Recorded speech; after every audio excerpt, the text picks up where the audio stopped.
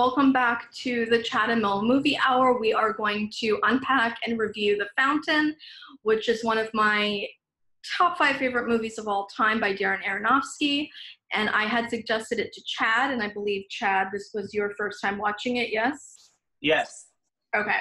So we're going to give a little bit of context on the movie um, we're going to unpack it at the end of this video. If you can make it all the way through with us, we invite you to stay tuned because we're going to tease our big project that we're working on together, which we're so, so fucking excited about. So stay tuned and thank you to Marissa for suggesting it. Um, but yes. yeah, so uh, Chad, I suggested The Fountain. You had already seen, I, I think, correct me if I'm wrong, you've seen like Pi and Pi. Requiem for a Dream, his two previous films. Yes, and there was a. I looked him up. There was a few others I had seen as well. Black Swan, um, and what what what other films? So uh, Pi and Requiem were before The Fountain, and then Black Swan came out after, and then Noah, which I will withhold my comments on, and then most recently Mother, which you've also Mother. loved. That's searching for a mother. Yep, which I loved. So. So I will, if um, I may, just give a little bit of context on the film. So the movie came out in 2006. It um, was directed and written by Darren Aronofsky. Uh, the cinematography was done by a gentleman by the name of Matthew Libatique, and their uh, art director. Um, I think I may have misplaced the art director, but one of my favorite things about dare you. say again. How dare you? I know, I know. It's very hot, and I'm losing my mind. Um, I'll find him, but the art direction is very important because we're gonna circle back to like that. Um, but anyways, the score is one of my favorite parts of the movie. The score to this movie is probably one of also my favorite scores in all of cinematic history. I am moved to like my DNA when I listen to the score of The Fountain. The sound designer is Stephen Barden, um, and the uh, where is it? Hang on, music department. Pause. So Kronos with a K, Kronos Quartet is the symphony that that plays the score. Um, the music director is uh, Jeff Foster, and Mogwai, the band, actually also does a lot of the art. So, in honor of Mogwai, I wore my gizmo and I have my gizmo. But yes, so that's a little bit about you know who are the showrunners. It stars Hugh Jackman and Rachel Weisz. Before I go off on a full tangent, I just want to say that even when this movie came out in 2006, I was very excited for it to come out because I was a big fan of his, work already. But there was a lot of like kind of not mythology, but like there was a lot of drama and lore about this movie getting made. And apparently, it was the most expensive movie he's ever made. And it took him close to 10 years to get it into production Brad Pitt and Cate Blanchett were originally cast, but due to scheduling, they eventually dropped out. And he saw Hugh Jackman in a play and got Hugh Jackman on board. And Hugh Jackman was like, oh, you need to keep Rachel Weisz. And that's how they got Rachel Weisz. So that's my like just laying the foundation of this movie. Uh, Chad, you just watched it. Why don't you tell us your initial thoughts, feelings, and concerns. I'm going to open my window. Okay, so I I did a little bit of uh, a little bit of research on it, as much as you.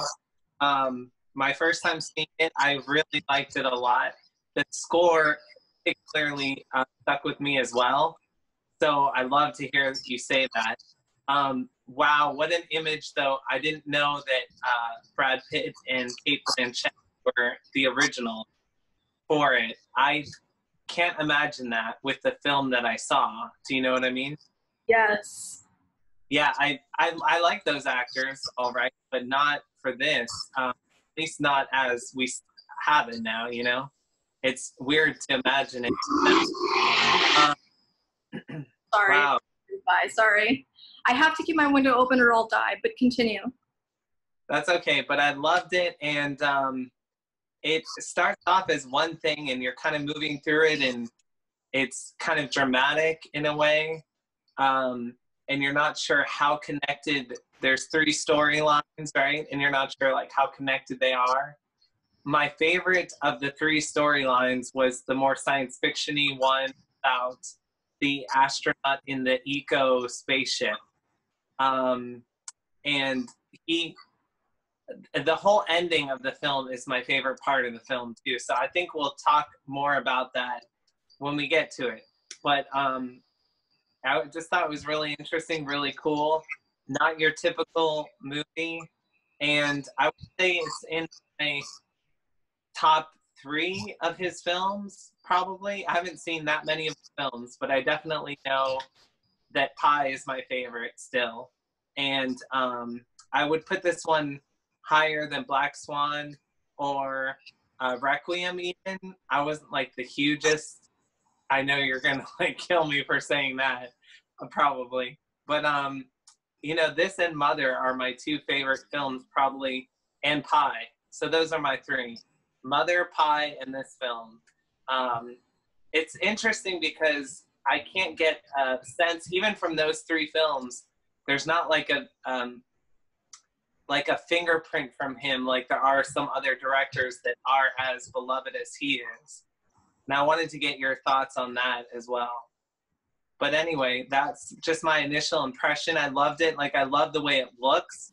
It's like a world that you live in. It has a very specific look.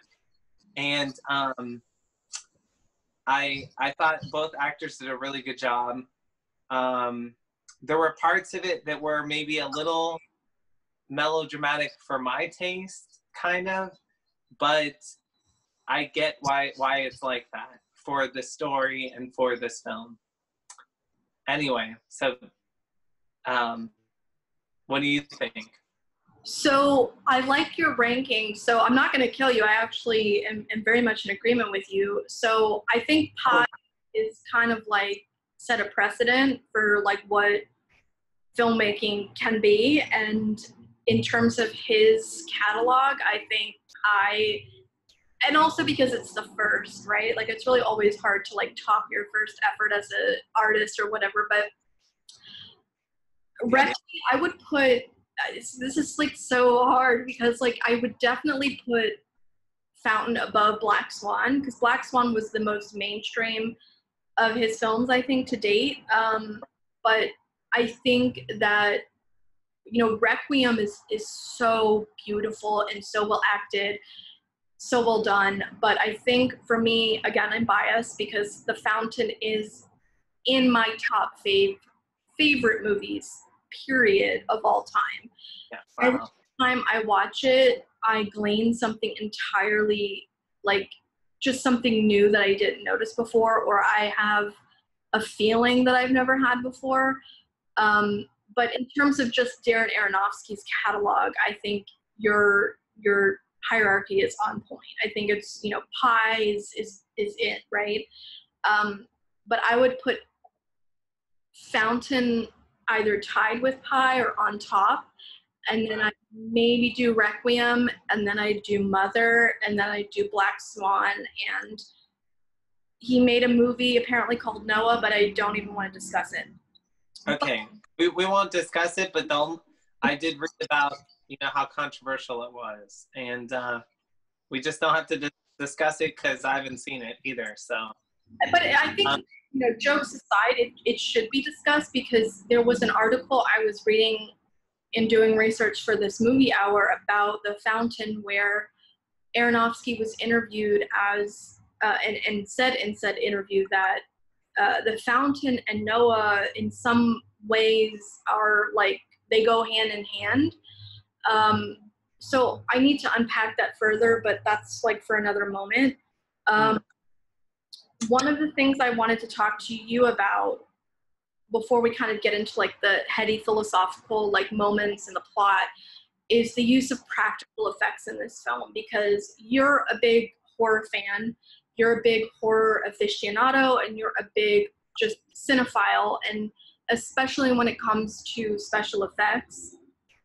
This movie, I think, just like many movies that use practical effects in the face of CGI or access to CGI, do so well with their niche audiences because we see through CGI, and CGI just doesn't give you the emotional um, feedback that you get right.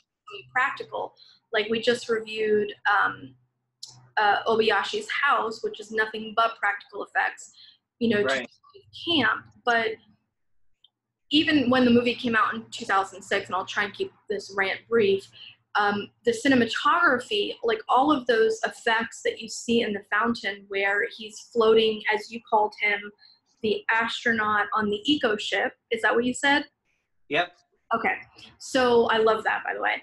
Um, but when you see Tom in the as astronaut in the eco ship, like flying through space towards Xibalba, none of that is CGI.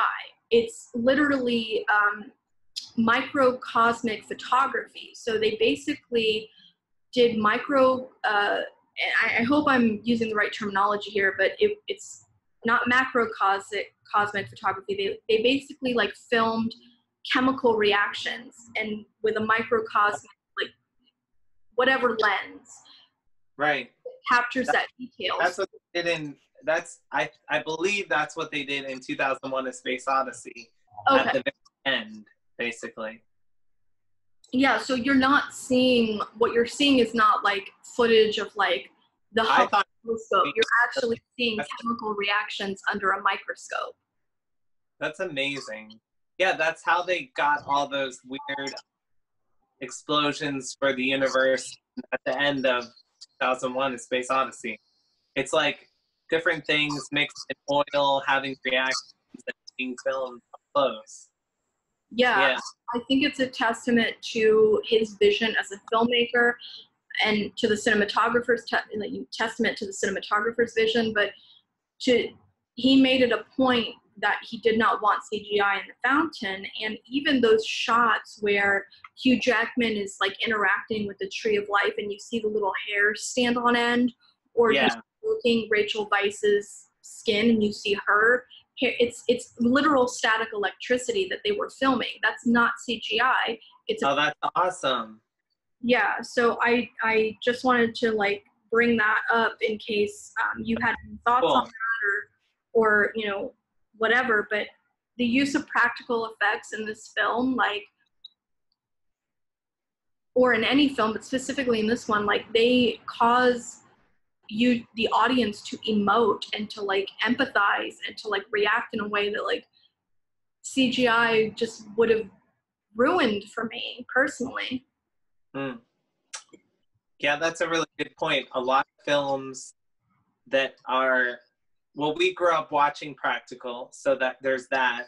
Yeah. But CGI, I think to anyone would agree, has a very specific like look and feel, and it's getting more realistic, right? But it's not the same as actual photography, even today. I think so. It has a feel, and it's almost like you can use it as a tool, as a paintbrush, as an artist, like any other tool. But you have to just really know your tool and know that if you're going to use CGI, it's going to be like you almost have to commit to a full-on CGI film, or you or you do what they did in Netflix, The Dark Crystal, for example, where you do the main action practical and you just enhance it around the edges with CGI, which is how I feel like it always should be done. Like there's little touches that CGI is great for, but when CGI is star of the film, it always bothers me. Agreed, agreed. And we're so saturated with it these days that um, when you see something that doesn't utilize it, it's very refreshing. Yeah. came out in 2006. This movie is 13, almost 14 years old, and it was not well like it was not a box office success it was very critically acclaimed but it's become a cult classic as much many of its films have become. But yeah. he was even saying in an interview that i was reading that there are so many layers and ways to look at the three um, timelines if you will that he is interested in recutting the film in a new way. Um, and so just to give the audience a little bit of context here, you have two main characters Tommy, played by Hugh Jackman, and Izzy, played by Rachel Weisz. Now, Rachel Weisz, I think if you've seen anything Rachel Weisz has been in, you understand that she's an incredible actress. If you've seen anything that Hugh Jackman's been in, I think you can agree that he's an incredible. He, he's a renaissance man as far as I'm con- concerned. Like somebody that can play like Wolverine and also be like a song and dance man, like yes, yeah. all of that. Like and they were both already a list when this movie came out, but to think that somebody as AAA plus list as like Brad and Kate could have played them and then seeing what Hugh Jackman like everything Rachel Weisz does in this movie is amazing, but it's like for me, it's like given, like she's gonna nail it. When I see Hugh Jackman in this movie with the material that he's given and the mm. way he just fucking runs with it and just emotes and nails it, like I am just so moved by by their performances. And i think the casting is so delicious because it gives you like these non-obvious actors with this non-obvious material and it just it, it's beautiful. I don't know. What, what do you think about like the casting yeah and i kept i agree but i kept thinking um, you know these are actors that can definitely choose what they want to do. And they this is something they chose not because it was going to make a lot of money but because they actually believed in the project, I think, which is kind of cool. Um, but when I was looking into the film, um, Rachel, her first first ever film was this um, B horror called Death Machine, and I don't know if you've ever seen Death Machine, but when I was a kid, it was it was like a VHS rental or DVD rental or whatever, probably VHS because I was super young at the time. But um, I just remember seeing the cover of it, and it had this like metallic claw hand coming out of like liquid, like chrome on the cover, um, Death Machine. So I was like, she was in that, and it was just like a cool moment for me to realize that that's how she started her career. Probably something she's not proud of, but I think it's pretty badass. Um, but uh, it's just, yeah, I think that they chose to do this film because they believed in the project based on the script. Yeah, agreed. And I I just looked up Death Machine. I've not seen it. It's going on the to-do list. We may have to do a movie review. But it, it reminds me of like Renee Zellweger having been in like and Matthew McConaughey having been in like the Texas Chainsaw Massacre part like 23 yeah. or some shit, whatever it was. Sorry, yeah. like my wisps aren't doing there we go. At least they're like there we go but like yeah like to see to know that like your favorite people like your a-listers that you love and respect come from like the d-list? Is very refreshing yeah. especially the horror d-list. So yeah we'll be watching that. But um, i'm just going to do like a quick tight overview of the plot. And then if, if you're okay like we can unpack it and go from there. Let's um, do it. so the premise of this movie or as it was sold i guess to mainstream audiences you know with the trailer and the marketing was that you have a love story between hugh jackman's character tommy and rachel weisz's character izzy who is dying we know not of what but you know she's got a terminal illness uh, he's a scientist slash doctor he's trying to find the cure for her um, he's very much in denial of her dying. She is very much accepting of the fact that she's dying. And what you see is, at first glance, three timelines. So you see the present, which is what I just described. And in this present, Izzy is writing a story that takes place in the 1500s about a conquistador, also played by Hugh Jackman, and his character's name is Tomas or Thomas, whatever, because he's playing a Spaniard and she plays uh, the Queen of Spain in the narrative that she's writing. And, And she, she's beautiful in that part. Honestly, like when the lighting on her, when she's in that like candlelit room and she's like, go and like save Spain for me, like I can't even deal with it. Yes. Yes. If I had makeup and lighting from the fount, I, I, I, I'm switching from wine to sake out of the bottle now. Pretty spectacular. Yeah, I mean it's it's it's ridiculous, but she's basically the present her as she's dying is writing this novel of this conquistador who has been sent by the Queen of Spain to the Mayan civilization to bring back the Fountain of Youth, which they believe that they have located, and in doing so will release Spain from bondage from the um, Inquisitor, from you know the Grand the Catholic Grand Inquisition, you know metaphor, metaphor, metaphor, and then you have this other storyline where, and they're all kind of spliced, flashing between the three, of you know a bald Hugh Jackman in as Chad would describe it, um, an astronaut in eco spaceship. Is that what you said? An ecosphere. Yes. Okay. So you have bald Hugh Jackman seemingly in a future timeline with a dying tree of life in this orb that's flying through space and time.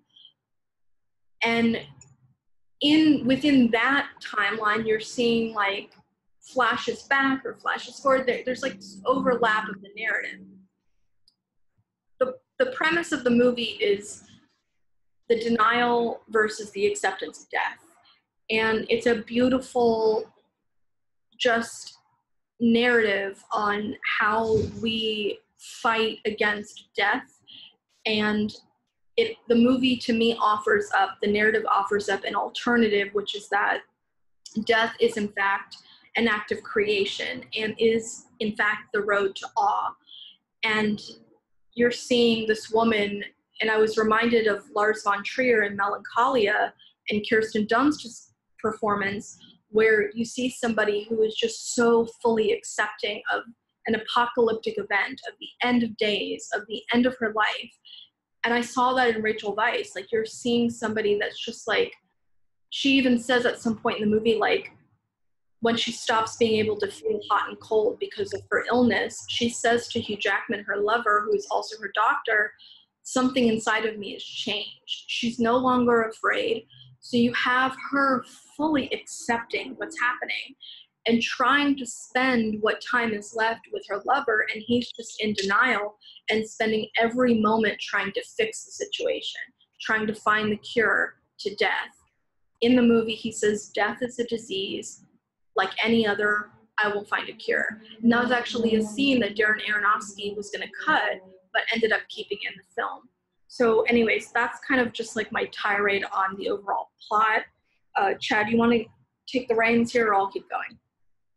Um, no, no. I've thought of things to say along the way, but Sorry. um, what? First of all, um, so I don't know if this is jumping too far ahead into the film. Actually, not really, because he does it at multiple points.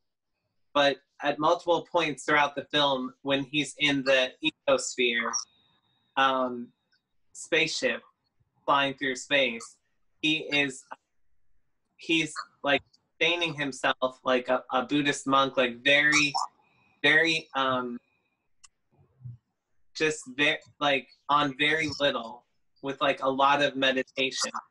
And part of it is he takes a little piece of bark tree, like the tree of life, and eats it. And every, when he does that, it's such a satisfying act in film. I don't know why, but it's like really satisfying to watch it. That's just something I thought of. But you see, you don't know why it's satisfying to watch um, in film, but like personally, like what did it in, like like elicit in you that made it satisfying to watch him eat from the tree of life, or was it not a personal moment and just a cinematic satisfaction? I it might have just been a cinematic thing, but um, I just I just think it was like a, just a really cool moment. And then the whole end, we have to the whole end of it we have to like really get into because We will. I didn't I didn't see a lot come that, that happened at the end. And but to me it was some of the most interesting stuff in the film. Um you know, of course, his romance with um, the Rachel's character, um, his wife in the film, is very like touching and moving. But I kind of gravitated more to some of the more like um, metaphysical, like bigger, crazier sequences and scenes. Um, it's a real interesting, bizarre mix of a film because you have like the kind of like period action when he's the um, conquistador, and then you have a more of like a health drama between him and his wife, which is kind of a love story. But overarching all of this, it's really about like life and death and the, the circle of life. And then you have like this futuristic stuff with him, um, you know, a bald him who, like I was saying, lives like very minimally, very cleanly, and mostly on meditation, and can fly and stuff. And oh my God, that some of those scenes are so. amazing. Um, I don't know if you want to talk about the end of the film yet, or you're probably we're not there yet, but there's Yeah. so, there's so much there's so much like and and i just want to say like i saw this movie in the theater when it came out in 20, 2006 which to me to think that i saw this movie 13 years ago like is too much for me to process and is very in keeping with the theme of this movie which is like time is a motherfucker and a trip but like Yeah. we will get to the ending because the last 10 minutes of this film is is is just I think some of the most important 10 minutes of art that I've ever experienced. But I, I want to beg a question of you and of the audience because I've probably seen this movie about two dozen, 30 times, like ish. Like I said, every time I watch it, I get something new. I pick up on something new. And in preparation for this, I, I read some stuff, um, which is now quite old, but there was an article on Collider, and I'll link it in the description. But the article suggests that the there are not three timelines, so there is no present, there is no the 1500s, there is no future. What we see as again, as you would describe as like kind of monk Hugh Jackman minimalistically surviving off meditation and prana and, and the tree of life in space and the eco spaceship is in fact not a third timeline but is a allegory for what he's experiencing psychologically as he's dealing with her death and like his reconciliation with accepting or denying death in his life and his own death, not just hers, right? Not just the love of his life. So she's written this narrative. So we flash back or we just flash to this narrative that's taking place in the 1500s. And the, and the film opens with this conquistador played by Hugh Jackman, Thomas or Tomas, basically raping and pillaging this Mayan temple only to find this Mayan um, guardian or whatever high priest, whatever shaman, and he kills Hugh Jackman's the conquistador character, right? And then you flash back into the present narrative. But at but the is, is all that the book that she's writing? yeah, so she writes 11 chapters or 12 chapters, and then she lets him write the last, whatever amount of chapters it is. Let's just say it's 11 chapters. Like she's written the book, and then she keeps telling him to finish it. Even in the future, even in the past, you keep hearing her voice echo, like, finish it, finish it. Right. And he's like, I don't know how to finish. And she's like, You will soon. And he's like in denial. He's like, Stop. Like, stop talking about death. Stop talking about loss. I'm not going to lose you. I'm going to save you.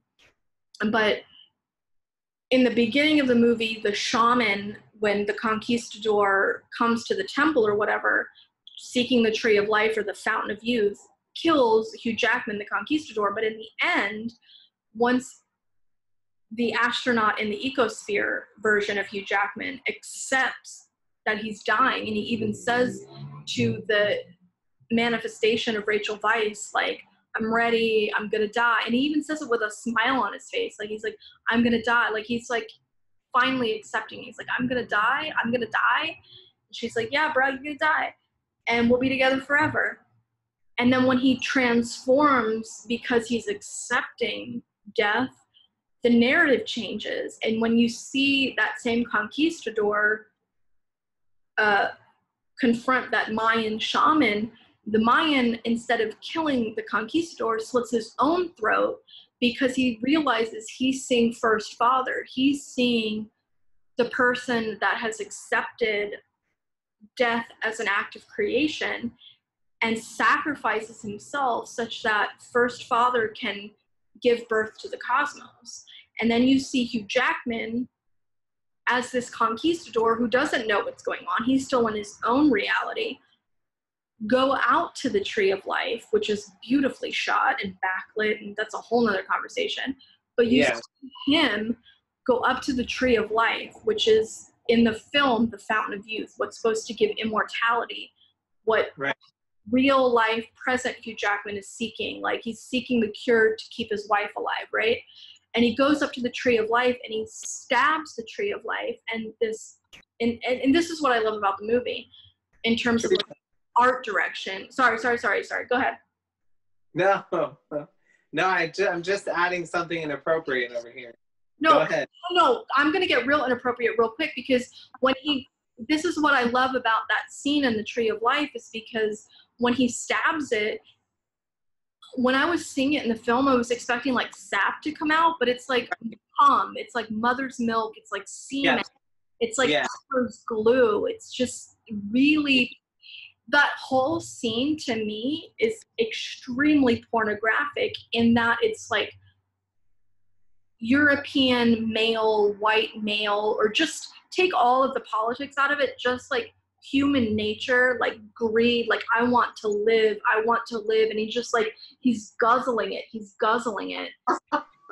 and even when he like puts it, the the milk or the sap on his wound and it heals, But then, but then like he becomes first father like izzy was describing to him earlier in the movie when she was recanting or re- recounting mayan mythology to him and saying like Xibalba like first father like became the earth he became the bloom he he became the stars and that's what happens to hugh jackman but he's still in denial like he, he literally like flowers are blossoming out of his wound and he's ripping them out because he's in denial and he doesn't want to die and it's it's scary that almost. Yeah.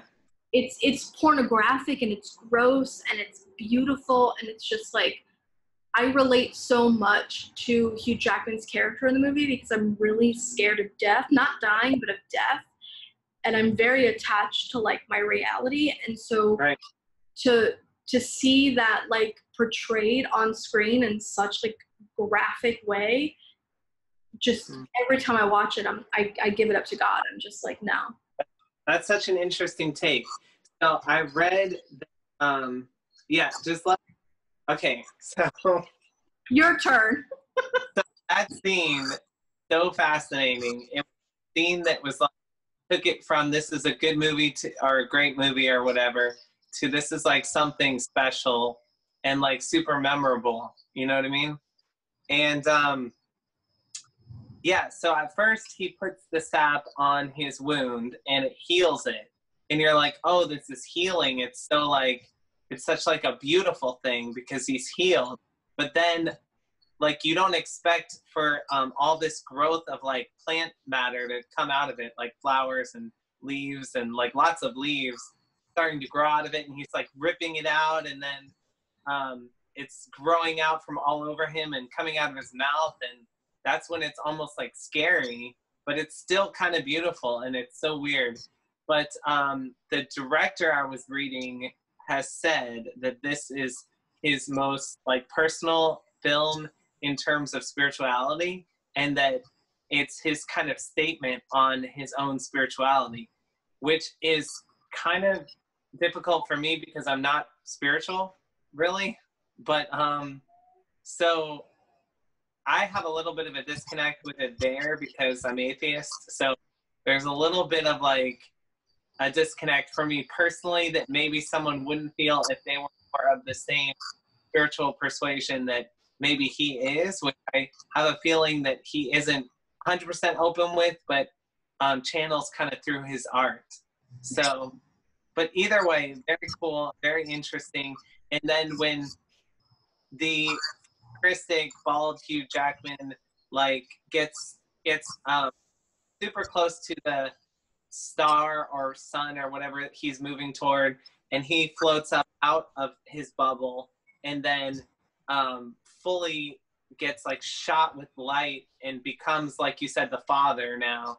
Um that is like the most that that along with the plant matter coming out of the of the conquistador version of jackman are like the most interesting things and the whole ending of it is just fascinating but um yeah i think definitely he was talking about his own spirituality and about life and death. And it's just odd for someone that maybe doesn't see so much happening after you die um, to see a film places so much meaning on death and the circle of life like continuing like your energy or spirit continuing like reincarnation but even as an atheist or even as somebody that believes believe it maybe isn't the right word here but like as an atheist who might um and there there's different ways of being an atheist too right like there are sure. very like ways of interpreting like what happens when you die even as an atheist but the idea that like maybe you just go you go to ground right and like that's it like lights out there is nothing whatever. I think the movie even still speaks to that because the, the idea that like you know you have this kind of subtext of seeds and there's even a moment in the movie where it's kind of in the last th- the third act or even in the last 10 minutes where you know woke hugh jackman monk hugh jackman in the eco spaceship is accepting death and realizing that he cannot save or he was not able to save the love of his life and that he too has to die. Everything has to die. In that acceptance he the narrative changes just like it does with the conquistador meeting the mayan gentleman. The, the narrative changes because earlier in the movie there's a scene where in the present he's in his lab and he's trying to like figure out how to like find a cure for whatever the disease is on the monkey that he's experimenting on. And Izzy comes in and she's like, Oh, it's the first snow. Just like come and spend time with me. And he's like, I can't, bitch. Like I'm trying to save your life. And and you know, they're just on different pages. But when the narrative changes the, in the third act, when he starts to reconcile that he has to die, everything has to die, and he accepts it, that story changes and you flash back, but the narrative changes and he does go outside with her into the first snow and yeah. he hands her or she excuse me she hands him like a seed pod and you see him at the end of the film in the last 30 seconds plant that seed at her grave such that she can become like the mayans and first father and grow and, and fly away and, and death as an act of creation but i say all of that to say like even looking at this film from an atheist perspective it still rings true i would imagine because just that that circle of like your body goes into the earth right? Nothing happens after that. You're dead. You're fertilizer. But in being fertilizer like you're still giving birth to something new. Right. Well even as, even as an atheist it's almost like not i believe nothing happens it's almost like i don't know in a lot of ways too like you're in some ways more open-minded than say a, a Catholic who who is like, this is how it is, 100%. I know it's this way, and I shun every other concept of God, right? Yeah. Um, whereas when you're an atheist, you're like, I don't think there's a God, but you know, we don't know. There's not enough evidence. A lot of, a lot of. That's how I see it, kind of. But I'm still very open-minded, and it's still like really interesting to like see his unique take on spirituality because I think that this is like his unique, special spirituality um, expressed through art. You know what I mean? Yeah, I absolutely agree. I think there, I mean, the nuance to this film, like, again, like, I've seen this movie over two dozen times. Every time I watch it, something new comes forth. And I think that's a testament to him as a filmmaker, but also to just the the narrative of the human experience, right? Like which he was yeah. able to capture, which is that like we don't know, like are we atheist? Are we agnostic? Are we devout? And like, you know, you could argue that Hugh Jackman's character is, although he's a man of science, not to go off on like a whole lost allegory or metaphor here, but like, you know, he's a he's devout though. Like science is his religion. He's so right. beholden to science and finding a cure to death and seeing death as a disease that can be overcome that mm. He did not spend any quality time with the love of his life when she needed it most because he was so beholden to science. Science was his religion. Atheism might have been his religion. I don't know but like just that idea that like i can fix it i can be god i can control things when all she was trying to tell him from Jump Street was like, bruh, you can't, and I'm dying, and so are you, and just get on board because it's more fun if you do. And like talk about, but like, do you have anything else that you want to talk about with the movie? Um, the ending, the third act. We'll just like pick up like I didn't go to the bathroom. No, I just yeah. So anyway, I just I just think that um, beyond any specific spirituality, this film is almost like its own spirituality and like i said it's a very specific expression of spirituality from the director through his art. And i don't i think it almost depends on a how open minded you are and b what you've already committed to believing or not believing to how much you could take get from the film in terms of satisfaction and, and in terms of an experience.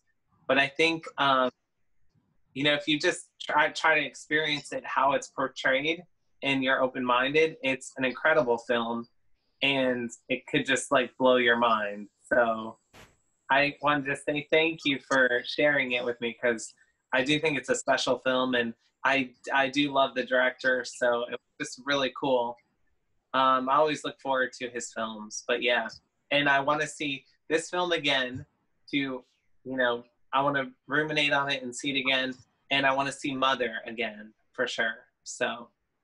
Yeah, and I, I want to see Mother again. I want to see Noah again, even though I'm very resistant. But I've only seen Noah twice, and both times I was just like, I felt like it was his like moment of having of like being beholden to like the studio and the box office because it just I was so excited to see like Darren Aronofsky's take on like the book of Genesis, right? Because he yeah. he he begins with that with the fountain. Like the opening credits are a quote from the book of Genesis and how Adam and Eve ate from the tree of the fruit of knowledge. Take that again. Ate fruit from the tree of knowledge and were banished and and God protected the garden and the tree with a, a flaming sword. And that's like a metaphor throughout the film. And when I heard like Darren Aronofsky was gonna like do a narrative about Noah as somebody that grew up Judeo-Christian and went to private Catholic school and is a philosophy major, I was like, yes, yes, yes, yes, yes, yes. And then I saw the movie and it was like, no, no, no, no, no, no, no. Right. I've, I've, this director seems to. Yeah, this director keeps making films that you have to watch multiple times. Um, but that film stands apart from all his other work, according to everything I've read, um, as just that level of controversial, even among his fans. So, um, Jonathan's looking around the corner. What do you want? Edit that out. And Um, what was I gonna say? Oh, so should I intro? Um, gonna do next? yes, but can I say like two more things about the fountain and close it out? Yes. Okay. So one of the things, like, not to go down a Judeo-Christian rabbit hole, but like the the main character Hugh Jackman is like in the in the present his name is Tommy. In the past his name is Tomas, and in the future they never actually call him by a name because he's by himself. But in the credits he's just named as Tom, and there is like a Judeo-Christian like rabbit hole you can go down about the apostle Tom and how Thomas was like the doubting apostle. Like he was the one that was like, Jesus ain't the son of God. Like I will see it when I believe it. And then when he saw it, he believed it and became the most devout. So there's like a level there of like subtext. Uh, Right. Bible wise, and then also the Hugh Jackman's last name, uh, Thomas's last name in the movie is Creo, C R E O, which in Spanish I believe means. Oh God, did I lose it already? I'll, I'll circle back to that, but it means something that um, Jonathan, what does Creo mean in Spanish? CRE Creo. What does Creole mean? Creo? Yes. C R E O. Oh, believe. I think. I Believe? think, believe. I think. Yeah, believe. So you have that layer too. So like nothing is an accident with Aronofsky, right? But the last thing I wanted to talk about with the fountain, which was something that I just really paid attention to this last time I watched, which was the ring. So like Yes. the entire time that you're watching Hugh Jackman's character in the mm-hmm. present, like he has a wedding, they're married. He loses his wedding ring down the sink at the lab where he's trying to cure his wife's disease. And then you see him like see a gentleman like dying in his hospital or or the hospital that his wife's dying in and you, they like focus on the ring and then he looks down at his hand and he's got no ring and then they flash to like the future Tom where he's like got been tattooing all of the rings of his years on his arm and also tattooing a ring around his finger. Like the ring of a tree. yes. And then, you know, she gave him in the present, Rachel Weisz's character Izzy gave him a fountain pen and ink to finish her story. And instead of finishing the story at first, anyways, he takes that pen and ink and he tattoos a ring around his finger because he's still in such denial. So there's just like like the seed, the ring, the tree of life. Like there's just like so much to like there's so many layers to this delicious fucking onion. There's so much to appreciate. Yeah. Yeah. And like Mayan mythology and this like how they introduce the notion of Xibalba, which is real in Mayan mythology. Like it is the name of the like the ninth realm of the Mayan underworld, where like death and creation are like kind of intermingled, and I mean it's just it's it's just there. There's just so much. There's just so much. That's you're great art is when someone takes the time layer that richly, right? It just enhances the experience for you to uh, experience it over and over again. Yeah, yeah. I I loved it. I can't wait to watch it again and then maybe discuss it with you again. But why don't you tell our you know millions and millions of viewers what's coming down the pike? So I am so excited for this that I cannot stand it. But we are going to do um, entire Alien Predator universe.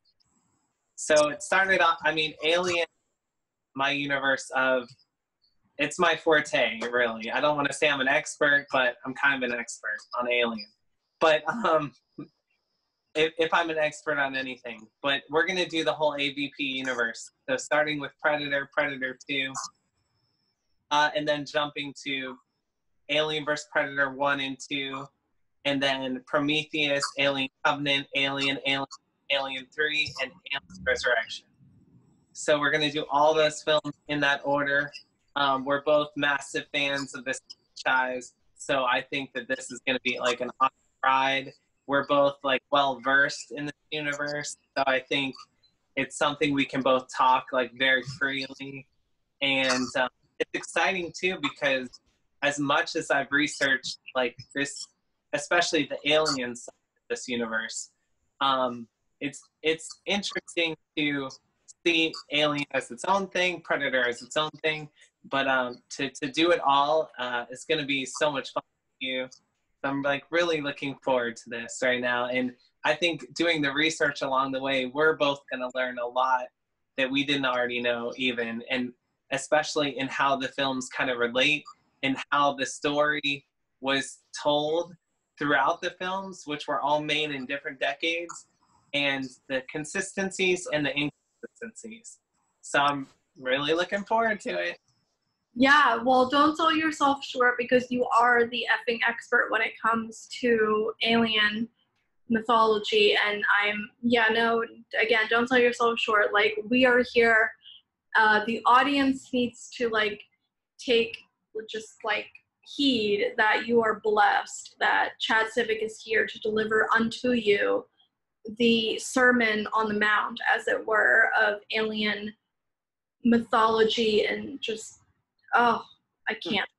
The, the, the film for Alien or the um the video we make for Alien might have to be like a two hour film. I don't know because discussion because that film is obviously the pinnacle of that entire universe and it's one of the few masterpieces within that series of films so. It's also one of the few masterpieces in all of like 20th century film period end of story but great point.